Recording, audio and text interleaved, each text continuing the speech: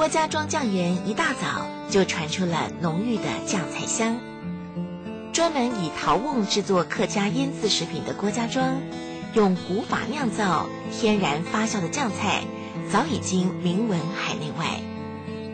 我们什么都是要第一的，这一定要选好的，给消费者吃的健康，我们就很高兴了。郭家庄酱园最有名的就是豆腐乳。豆腐是用上选的黄豆自己做，而且非常有弹性。而发酵用的渠则是用黄豆和胚芽米天然发酵，能够让豆腐乳少盐却更为香醇。日本的很喜欢吃酱菜，对不对？那他们日本也很想做豆腐乳，他曾经也到我们这里来写过。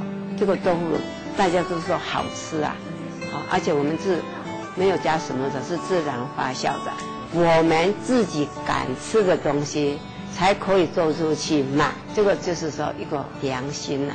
有四十多年历史的郭家庄，坚持用传统古法来保存农产品的原味，常有侨胞和老饕慕名而来。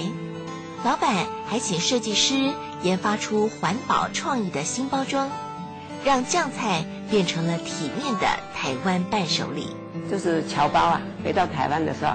他就看到，哎，这个真的，跟我们我们台湾以后收集到那么水准那么高的，这个也是环保的，会拿出来，会做灯笼啊。